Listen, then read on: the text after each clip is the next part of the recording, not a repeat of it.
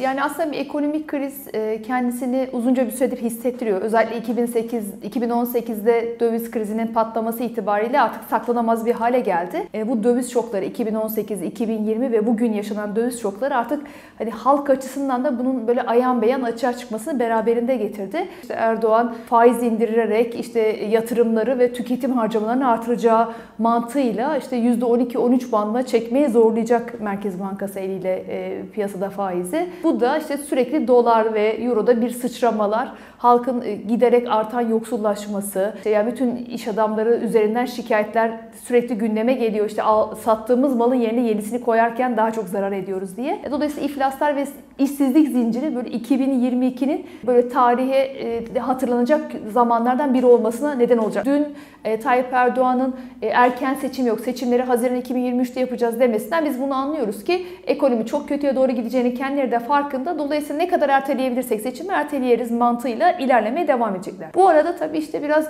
bütçe üzerinden şöyle bir model e, yaşama geçecek. Aslında AKP iktidara geldiğinde hep bütçe açını azaltma. Yani işte emekçiden kesme, emekliden kesme, yoksuldan kesme. E, dolayısıyla devletin kaynaklarını zenginlere aktarırken yoksulları mağdur etme üzerine işte ilerlemişti.